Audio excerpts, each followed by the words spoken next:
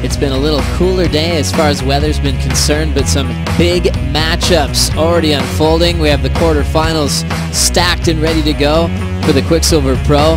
And now we have the same plan for the best women in the world, starting with round four, heat number one. During the break, Potts, we got a start from Courtney. Yeah, Courtney off to a good start, and uh, she's going to be really concentrating hard on this heat, Joe. This is world title implications right here. If Courtney fumbles, Carissa can go on to make a semi-final and steal that jersey back. So Courtney knows that. She's got a tough heat ahead of her. Tyler Wright opens her account as well. Tyler goes down, unfortunately, on that wave. Tyler setting up a solid one out the back. A lot of white water to deal with as she's still thinking about the open face and now deciding to kick out. Next wave setting up for Courtney.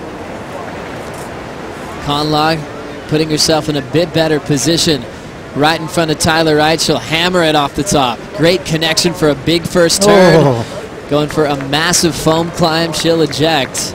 Good for one move. No, he just uh, flings it up there. This is Tyler Wright from Australia. Layback jam to start. Plenty open face with a lot of speed. Full roundhouse cutback. Slams the rebound. Into this inside section. You can kind of see the backwash starting to show up. And she'll hop out. See Courtney Conlogue now with a nine point total. 5-3-3, 3-6-7. Tyler turning in her best wave so far. Gibbons on the final. Now it's California versus Hawaii as we check out Tyler's last wave. Yeah, that trademark layback snap there from Tyler. How much power she puts into her turns. I mean, this is a sort of a big slopey wave, so pretty hard to set that rail. Tyler Wright just gets her feet in that spot. Fun looking glassy wall setting up for a forehand. Conlogue driving through will pull in just for a moment. Lip lands on her head and she'll end up out the back. Wow. I haven't really seen too many barrels today. It's been more maneuvers. Well, Tyler wants to keep moving. Sets up the first turn. Little forehand gouge. Now out front. High line off the top. Running after a big section now. Creates it with a clean snap. Tyler now out of there into the flats. Starting to build on her score line. Hunting down Conlogue to take on last year's Rookie of the Year, Johanne Defay. This is Conlogue now. Quick to answer. A lot of momentum. Solid snap under the lip. Keeping the flow going down the line. It's a quick wave. Two maneuvers. Hef and Tracy like it. Game face is on for both of them. This opening turn here from Courtney. She just really lays into that turn right there. Both Courtney and Tyler famous for those layback snaps. Big rail turns from both young ladies. Two of the most powerful women on tour. So we're going to skip beat. Remember, she suffered from a round two loss at lower trestles. It was basically a local lineup for Courtney, so she had something to prove. That she did, but I'll tell you what, she came up against Tyler Wright, who was in sizzling form. I mean, she was in that world title race, and I'll tell you what, she was well and truly on her way. Dropping nine-point rides left, right, and center in that final. I think it was...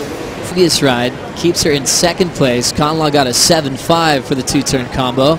Courtney's up again. Layback carve, she'll slip off on the opening maneuver. They had a quick chat. First, let's get into Courtney's last run. Yeah, Courtney jamming that turn right there. I think the wave kind of went a bit slopey. I think that tide starting to affect it. I think she was waiting for that wave to stand up. now for Tyler Wright. Still looking for a 5-7-7. A lot of open face. There's that little layback jam to start. Now big rip in the open face.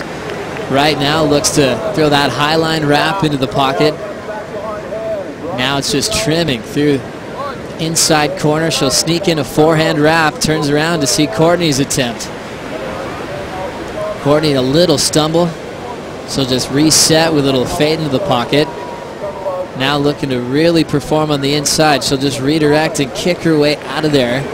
We'll find out if Conlogue had anything major on the opening section. It's a 5.33. Let's have a look. Tyler Wright Draws off the bottom here, jams it in the pocket right there. Didn't quite extend that back leg. This turn right there, that was the money shot right there for for Tyler. And again, that big wraparound cut back into the whitewater. So three strong turns for Tyler Wright and then finishes off with some rail work, maximizes the scoring potential. So uh, Tyler Wright really opening up. Courtney Conlogue, big turn off the top as well. Big bottom turn into that slicing maneuver super strong on her feet, and then this wave kind of went that Little wobble right there. A lot of backwash starting to affect the wave. And uh, both Courtney and Tyler have got to be well aware of that. Go. Tyler does have priority and will take this wave off Courtney. A lot of speed to start. Now looking for that layback jam one more time. Handles it through the backwash. Nice tie, high line carve. A lot of water moving out front. She'll get a quick arc and then falls on the rebound section on the inside. Confidence. Let's have a look at this wave right here. Opens up with a beautiful layback gouging maneuver. I love this turn right here. She snaps it all the way back around. Puts herself right in that uh, power source. Look at the bump and lump on the face of the wave there. That tide starting to really affect this wave and make things a little trickier. Losing in the round before the quarters to a longtime rival in Tyler Wright. As the results repeat themselves from last year's Roxy Pro, that time it was a final and Tyler will move into the quarters to take on Johanne DeFay.